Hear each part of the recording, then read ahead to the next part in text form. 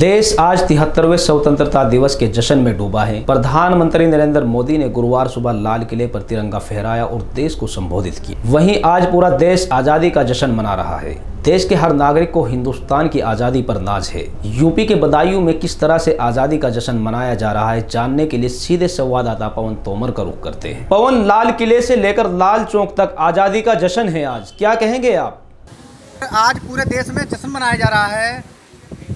ये पूरा और हम बात करते हैं मेन बधाइयों की। यहाँ पर जो है एक स्कूल है उच्च प्राथमिक विद्यालय कटैया केसर। विकास खंड सहसवान पड़ता है। यहाँ पर बहुत ही उत्साह के साथ जो है आज पंद्रह अगस्त मनाया गया है।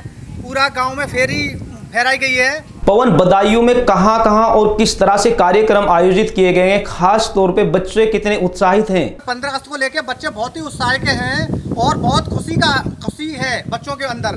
लेकिन सर मैं एक चीज़ आपको एक स्कूल ऐसा दिखाना चाह रहे हैं जो सरकारी स्कूल है। सरकारी सरकारी स्कूल है और लेकिन वहाँ कुछ खासियत ऐसी है। देखो हम कैमरामैन से कहेंगे थोड़ा लाइनिंग दिखाइए किस तरीका से बच्चों ने जो है उसके लिए फूल से सजाया उसके लिए।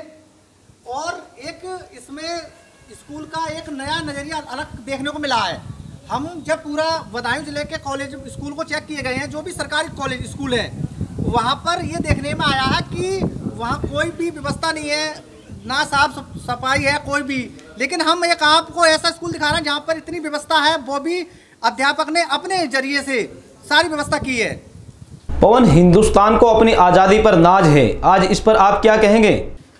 जी सर सर बहुत ही बढ़िया सर लेकिन सबसे बड़ी सर ये आती है बात जो आजकल क्या सर, जैसे जो दिखता है, होता नहीं। किसी ने मेहनत की और मेहनत को आजकल उजागर नहीं किया जाता, क्योंकि आजकल जो है टोटल नेता के उस पर पूरा जो आगे बढ़ जाता है, उन्हें ये होता है ना, डर सा बैठता रहता है। हम जब कॉलेज में आए तो टीचर भी ये बोल रहे थे, मुझे इतना हाईलाइट मत कीजिए। तो हमने कहा नहीं जब आपने इतनी मेहनत की है, जब आप इसमें हाईलाइट नहीं होंगे, कैसे? अब आप थोड़ा, हम आपको और लाइट की सर व्यवस्था ऐसी है यहाँ पर लाइट नहीं है, उसके बावजूद भी जो डीसी पंखे चल रहे हैं। स्टाफ ने तो अपनी तरफ़ से जनरेटर जो है अपने पैसे से खर्च करके जनरेटर लगाया, तभी पंखा बच्चों के लिए उपस्थित जबकि गाँव से ये काफ़ी दूर पड़ता है। शुक्रिया पवन, आपका हमसे जुड़ने और तमाम जानकारी साझा करने के लिए।